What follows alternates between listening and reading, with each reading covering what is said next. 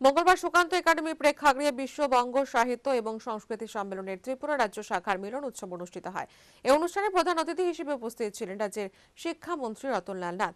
তিনি এই ধরনের অনুষ্ঠান আয়োজনের জন্য উদ্যোক্তাদের অভিনন্দন জানিয়েছেন। এই অনুষ্ঠানে বিশ্ববঙ্গ সাহিত্য এবং সংস্কৃতি সম্মেলনের প্রতিষ্ঠাতা সম্পাদক রাধা কান্ত সরকার উপস্থিত ছিলেন। অনুষ্ঠানে সভাপতিত্ব করেন বিশ্ববঙ্গ সাহিত্য এবং সংস্কৃতি সম্মেলনের ত্রিপুরা রাজ্য শাখার নবনিযুক্ত সভাপতি তথা রাজ্যের বিশিষ্ট সাংবাদিক পরিতোষ বিশ্বাস।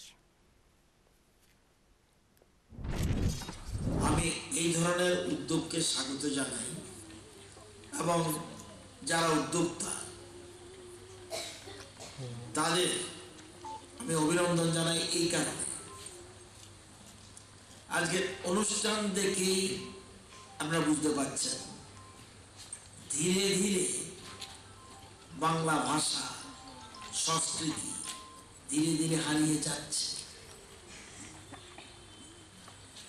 আজকে এই অনুষ্ঠানে যদি পাশ্চাত্য